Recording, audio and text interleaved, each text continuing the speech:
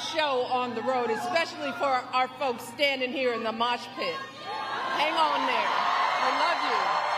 Well, let me just start by saying hello, Kalamazoo. or, or, or should I say Kamalazoo?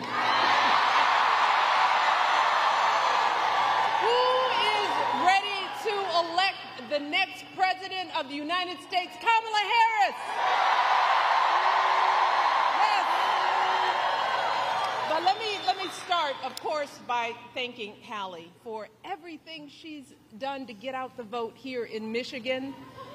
But but most of all, I, I want to thank all of you because oh, a hundred years old? No.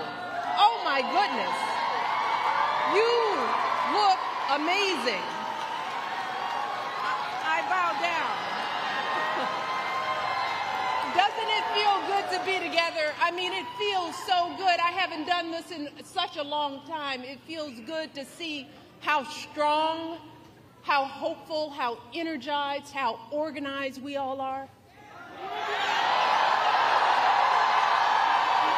And, and, and we need that.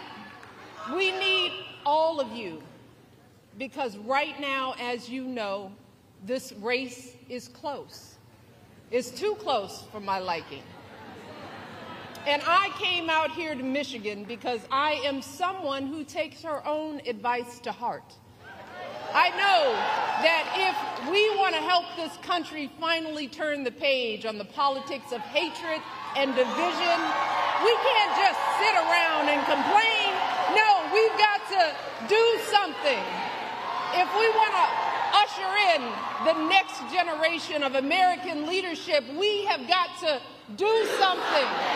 If we want to elect someone with a character that is worthy of the Oval Office, someone with the strength of heart to guide our country to a better day, we have got to what? And that someone, of course, is my dear friend Kamala Harris. And, and, Michigan, I am so hopeful about the energy and poise and joy that Kamala has injected into this race. And if you know Kamala like I do, that's no surprise. I mean, think about it. No one could have predicted the way everything would have unfolded this summer. And yet, in a critical moment when our country needed her, Kamala couldn't have been more prepared to meet that moment. And she's met it every single day since. Yes. Oh, she's, she's filling arenas in a way we haven't seen for years. She's building a remarkable campaign in record time, dominating her opponent so thoroughly in the debate, he was too scared to face her again.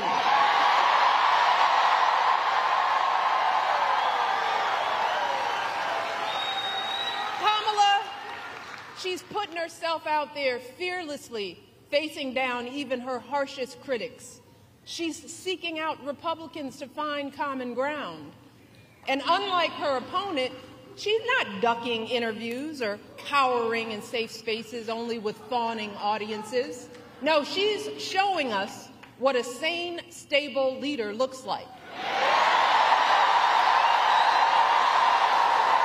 She's not, she's not losing her train of thought or stumbling over her words. And she's doing it all with vigor and with grace. That's because Kamala Harris is a grown up.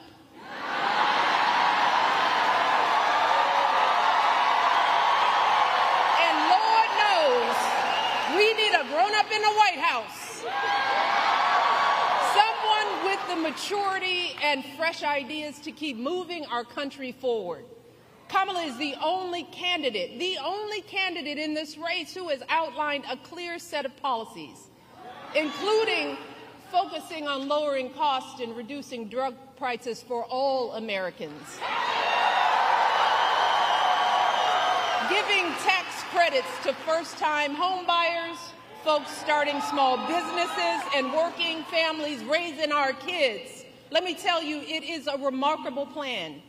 And these remarkable last few months mirror the way Kamala has handled herself her entire life, fighting for working people and the vulnerable, first as a prosecutor, then as an attorney general, then as a U.S. senator, and now as our vice president of the United States.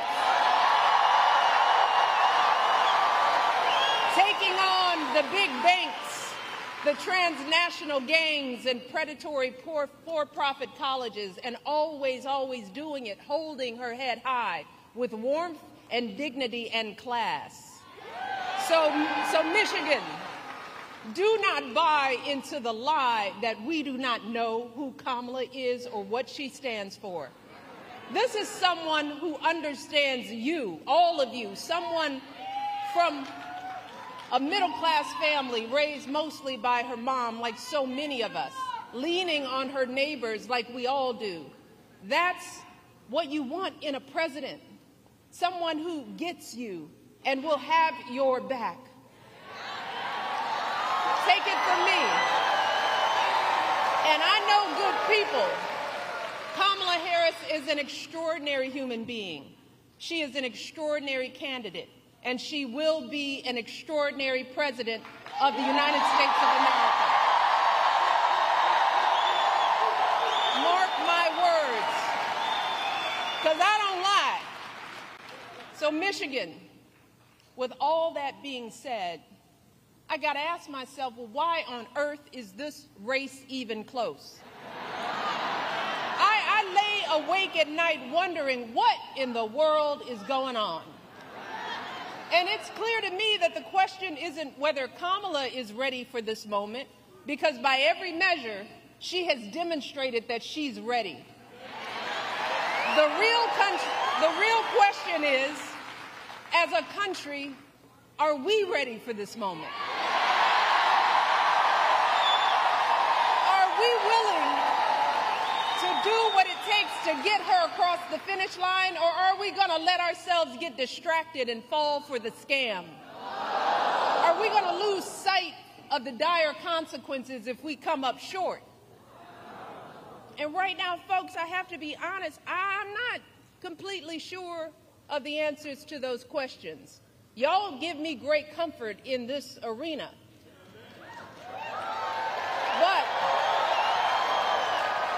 This is a big country. And that's why all of my hope about Kamala is also accompanied by some genuine fear. Fear for our country, fear for our children, fear for what is coming our way if we forget the stakes in this election.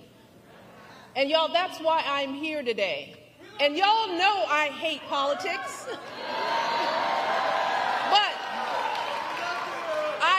to see folks taken advantage of even more.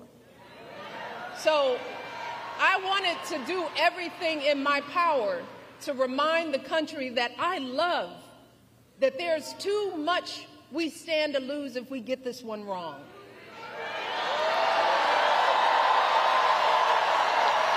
I am, I'm, I'm deeply concerned, and I'm talking to everybody out there that too many of us are still confused and buying into the lies and distortions from people who do not have our best interest at heart. So I, I want to address some of these concerns head on. Because when you lay out the options, this choice isn't even close. But whether it's online or in the media or in our social circles, there are folks who say they're not sure about Kamala.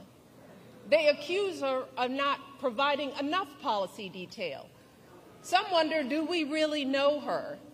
Is she too aggressive? Is she not aggressive enough? There are folks sowing seeds of doubt about whether she's who she appears to be. Now, don't get me wrong. Voters have every right to ask hard questions of any candidate seeking office. But can someone tell me why we are once again holding Kamala to a higher standard than her opponent?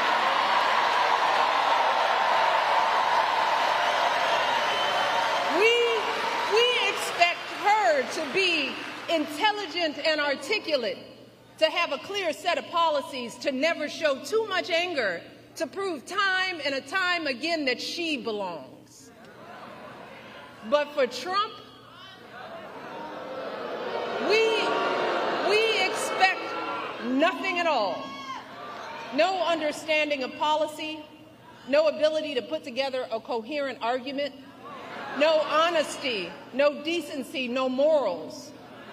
Instead, too many people are willing to write off his childish, mean spirited antics by saying, well, Trump's just being Trump.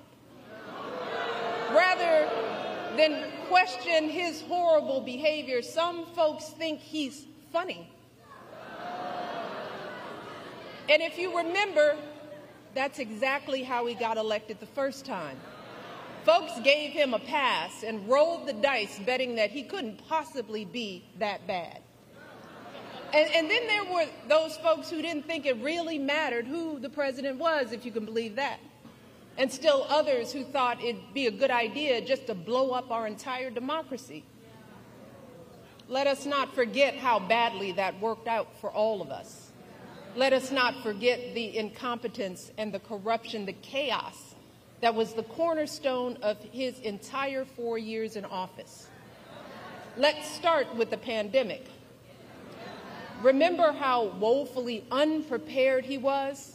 How he was sowing seeds of fear and confusion, endangering lives with his lies and ignorance, denigrating the doctors and scientists trying to help us you want to talk about plans?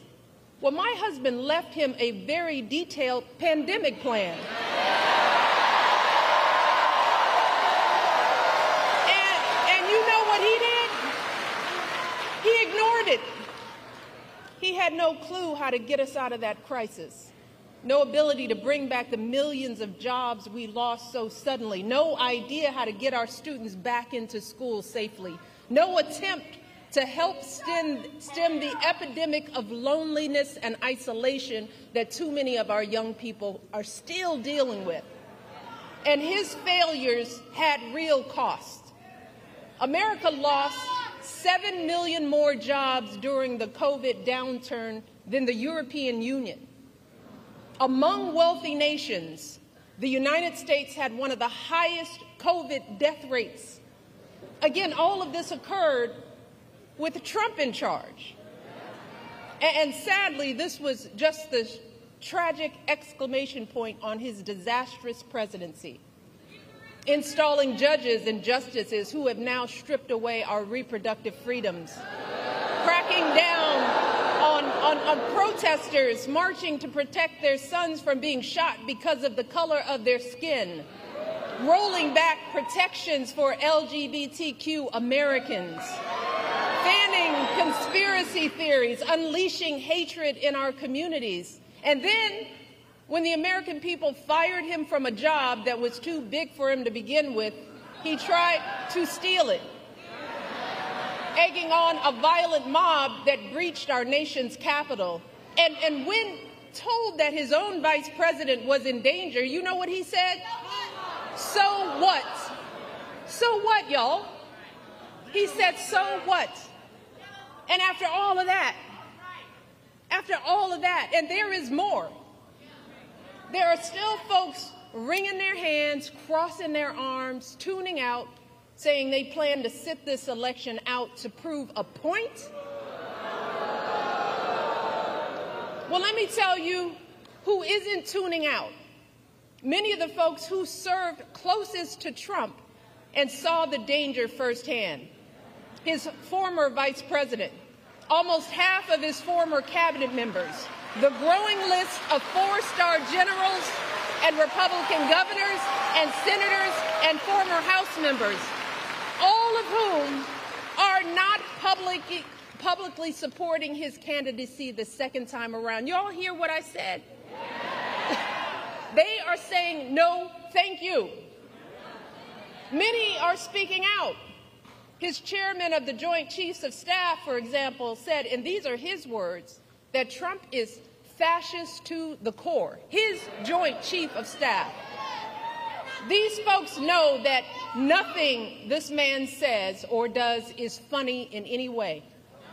So I hope you'll forgive me if I'm a little frustrated that some of us are choosing to ignore Donald Trump's gross incompetence while asking Kamala to dazzle us at every turn. I, I hope that you'll forgive me if I'm a little angry that we are indifferent to his erratic behavior, his obvious mental decline, his history as a convicted felon, a known, a known slumlord, a predator found liable for sexual abuse, all of this while we pick apart Kamala's answers from interviews that he doesn't even have the courage to do, y'all. So, I am praying that those of us contemplating voting for Trump or not voting at all will snap out of whatever fog we are in. I am praying that we consider the decades of sacrifice and struggle by all of our ancestors, the folks who marched and sacrificed and shed their blood for us. We have to ask ourselves is a vote for Trump or no vote at all the way we honor their lives? And if that's the case, well, that surely doesn't sound like freedom to me. Because let me tell you, in any other profession or arena, Trump's criminal track record and amoral character would be embarrassing, shameful, and disqualifying. So, I hope that you will forgive me if I am worried that we will blow this opportunity to finally turn the page on the ugliness once and for all. Because believe me, if Donald Trump is president again, at some point or another, that ugliness will touch all of our lives. And it will not matter what you look like, how you worship, who you love, or how you vote. If you don't make six or eight or 12 figures, if you're not famous, if you criticize or disagree with him in any way, if he doesn't view you as his equal or relevant to his ambitions, I promise you, he will not think about you when he gets into the Oval Office. And that will have real consequences for all of us. If your town gets hit by a natural, national, natural disaster, who do you want looking out for you? Is it Donald Trump who's spreading so many lies and conspiracy theories about climate change and FEMA that the workers in North Carolina trying to help folks clean up after the last hurricane were fearing for their safety? Or is it Kamala Harris? Who has been meeting with local officials, comforting the families in that state, and doing everything she can to get folks the help they need. If you're saving up to buy a house or pay off student loans, if you're caring for your kids or your parents or both. If you are a farmer, a factory worker, a paralegal, anyone whose job may be changed or replaced by technology, who will actually be thinking about you? Is it Donald Trump? Who's palling around with billionaires that want a puppet in the White House who will let him run unchecked? Or is it Kamala Harris? who has been fighting for working people her entire life. If you're one of our service members, our veterans, or military families, who is who is going to value your service and sacrifice? Is it, is it Donald Trump who has called those who gave their lives for our country suckers and losers? Or is it Kamala Harris who I guarantee you will honor your commitment to the ideals we all share with every fiber in her being. And if you are a mother who has lost sleep worrying if your son could be the victim of a nightmare traffic stop gone bad, if you've ever been out there marching and weeping for justice, who do you think is going to have your back? Is it Donald Trump? Who, who once took out a full page ad to demonize innocent young black teenagers in New York City?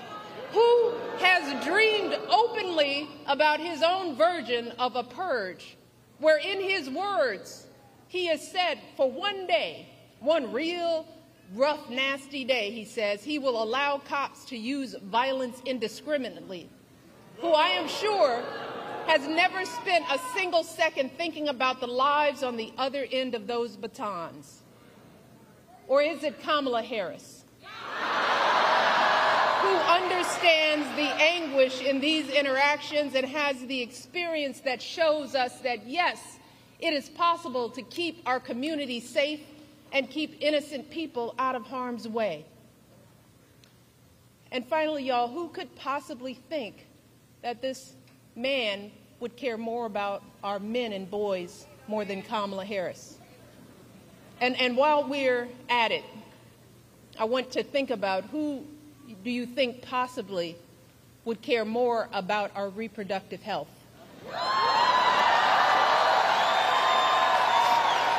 And and I just want to take a moment with this particular question because there is so much that gets lost in the conversation about women's reproductive rights. And I want the men in the arena to bear with me on this because there's more at stake than just protecting a woman's choice to give birth. And, and, sadly, we as women and, and girls have, have not been socialized to talk openly about our reproductive health. We've been taught instead to feel shame and to hide how our bodies work. Some young girls enter puberty not knowing what to expect. Too many of us suffer with severe cramps and nausea for days on end every single month. And then on the other end of the reproductive timeline, too many women my age have no idea what's going on with our bodies as we battle through menopause and debilitating hot flashes and depression. See, fellas, mo- most of us women, we, we suck up our pain and we deal with it alone. We, we don't share our experiences with anyone, not with our partners, or our friends, or even our doctors. Look, a, a woman's body is complicated business, y'all. yes, it, it brings life, and that's a beautiful thing. But even when we are not bearing children, there is so much that can go wrong at, at any moment. Every woman here knows what I'm talking about. A, a, an unexpected lump an abnormal pap smear or mammogram, an infection, a blockage, all of which could be early signs of a variety of life threatening cancers. And in those terrifying moments when something goes wrong, y'all, which will happen at some point to the vast majority of women in this country, let me tell you, it feels like the floor falls out from under us. In those moments, all we have to rely on is our medical system. In those dark moments, all we have to rely on is our faith in a higher power and the experience of doctors to get us the care we need in a timely manner. And look, I, I, don't expect any man to fully grasp how vulnerable this makes us feel, to understand the complexities of our reproductive health experiences in all honesty, most of us as women don't fully understand the breadth and depth of our own reproductive lives, you know? And that's because our experiences are often neglected by science. There, there's a huge disparity in research funding for women's health. And if you happen to look like me and report pain, you're more likely to be ignored even by your own doctors, studies show. So, so let me take a minute to help folks, especially the men in our lives, to get a better sense of what could happen if we keep dismantling parts of our reproductive care system piece by piece, as Trump intends to do. I, I want folks to understand the chilling effect, not just on critical abortion care, but on the entirety of women's health. All of it. There are good reasons why so many women and physicians are horrified by what's happened since Donald Trump's justices overturned Roe v. Wade. We're seeing women scrambling across state lines to get the care they need. Just this week, a major medical journal reported that after Roe was overturned, infant mortality in this country rose, in large part because women are being forced to carry fetuses that won't survive to term. One woman spent 22 days in jail on murder charges after she miscarried in her own bathroom. We are seeing doctors unsure if they can treat ectopic pregnancies. Doctors being told they can't treat a woman until she becomes so close to death that only a life of the mother exception will allow them to act. So, so just imagine the profound effects for all of us if Donald Trump wins this election. In states that are already putting abortion bans into effect, his FDA could further outlaw patchwork systems of telehealth appointments and mail order pills, thereby eliminating the last remaining protections for women in those states. He, he could take actions that effectively ban abortion nationwide, which would put all of us in danger, no matter what state we live in. We will see more doctors hesitating or shying away from providing life saving treatments because they are worried about being arrested. More medical students reconsidering even pursuing women's health at all. More OB-GYN clinics without enough doctors to meet demand, closing their doors, leaving untold numbers of women in communities throughout this country without a place to go for basic gynecological care, which in turn will leave millions of us at risk of undiagnosed medical issues like cervical and uterine cancers. This is real.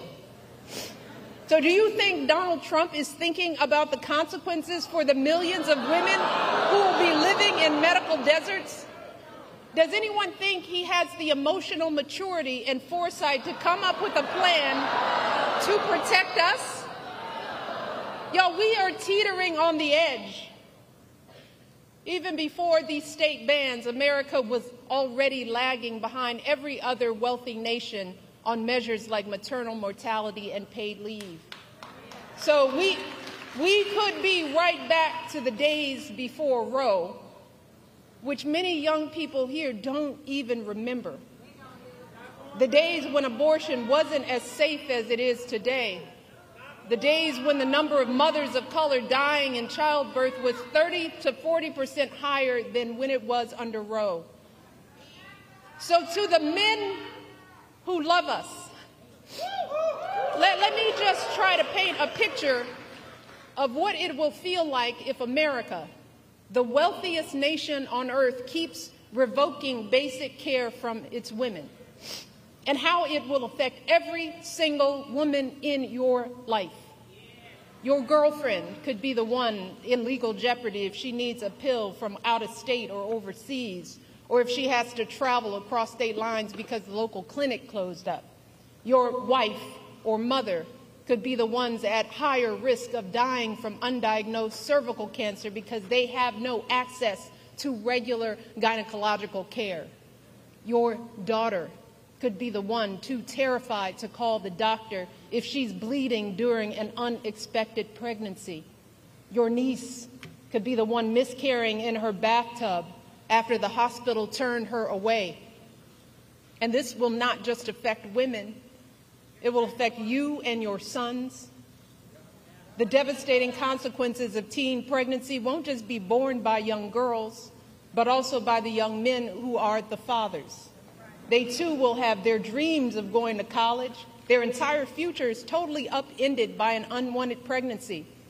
If you and your partner are expecting a child, you will be right by her side at the checkups, terrified if her blood pressure is too high, or if there's an issue with the placenta, or if the ultrasound shows that the embryo was implanted in the wrong place, and the doctors aren't sure that they can intervene to keep the woman you love safe.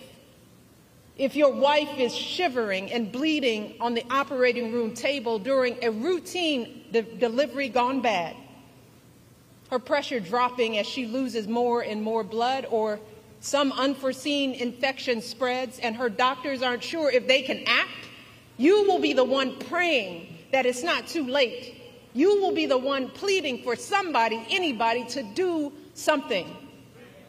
And then there is the tragic but very real possibility that in the worst case scenario, you just might be the one holding flowers at the funeral.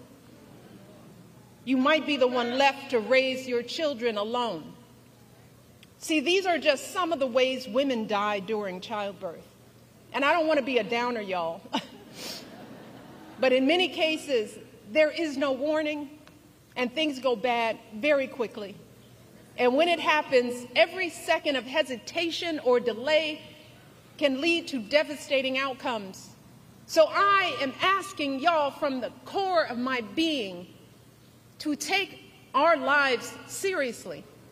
Please do not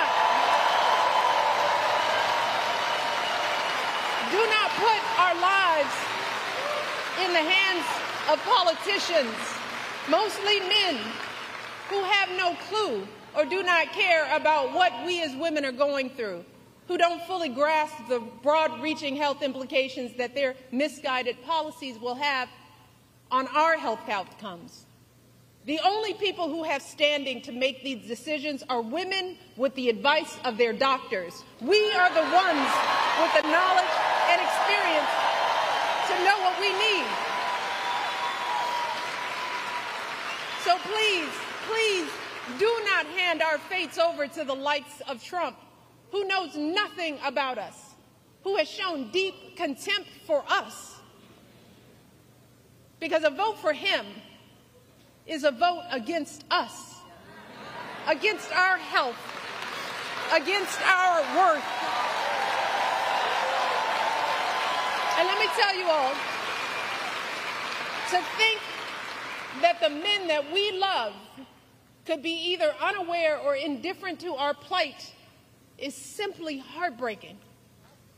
It is a sad statement about our value as women in this world. It is both a setback in our quest for equity and a huge blow to our country's standing as a world leader on issues of women's health and gender equality. So, fellas, before you cast your votes, ask yourselves what side of history do you want to be on? Now,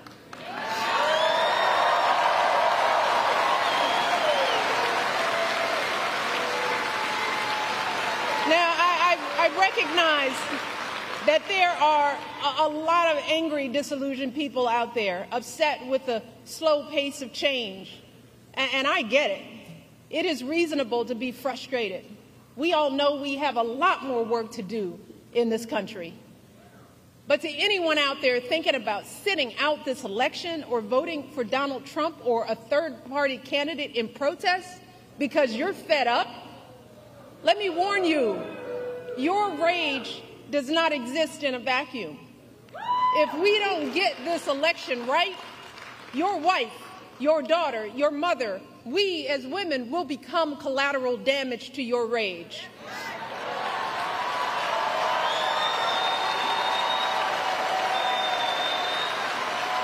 So, are, are you as men prepared to look into the eyes of the women and children you love and tell them that you supported this assault on our safety?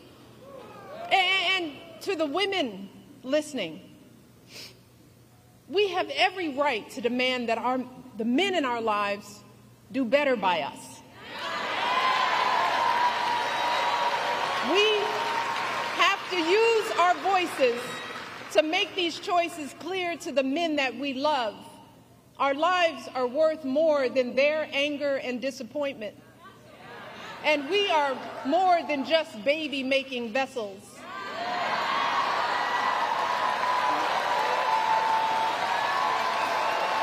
And if you are a woman who lives in a household of men that don't listen to you or value your opinion, just remember that your vote is a private matter. regardless of the political views of your partner, you get to choose. You get to use your judgment and cast your vote for yourself and the women in your life. Remember, women, standing up for what is best for us can make the difference in this election. So let us use our voices in these final days to make it plain to the men in our lives that we need to stand not with Trump, but with us. We need them to vote for the only candidate in this race who will protect our lives. We need them to vote for Kamala Harris. Kamala, she will fight to restore our reproductive freedoms and defend our health. Kamala will fight for our access to life-saving emergency care and maternal care in every state. Kamala will veto any abortion ban or bill that restricts access to contraception or IVF. Kamala will expand access to birth control and abortion pills. And she will do all of this not because she's a woman, but because she's a decent human being.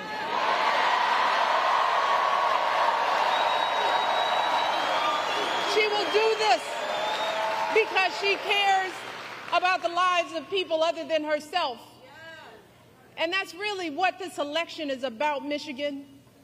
This isn't just about what we have an obligation to say no to. It's about what we have the opportunity to say yes to. And we can elect someone who has the experience, the character, and the strength to look at all these challenges and still see a brighter day on the other side.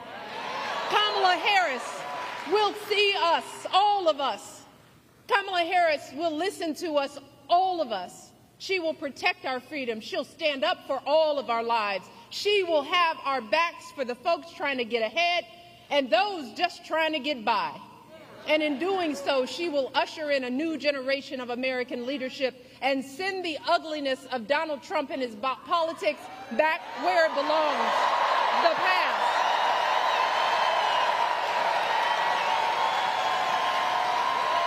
But Michigan,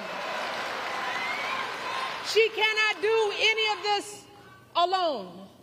So I'm asking you one last time, let us not just sit around and complain, let's do something.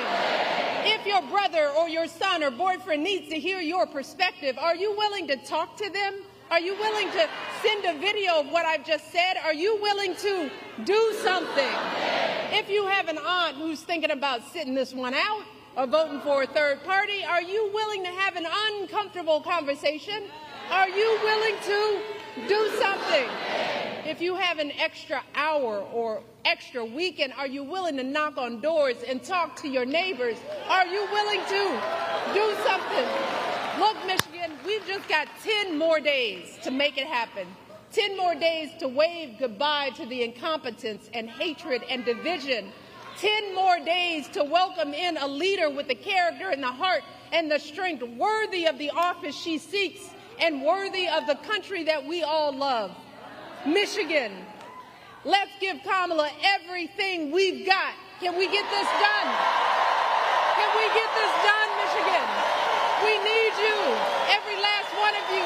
Get this done. Get this done.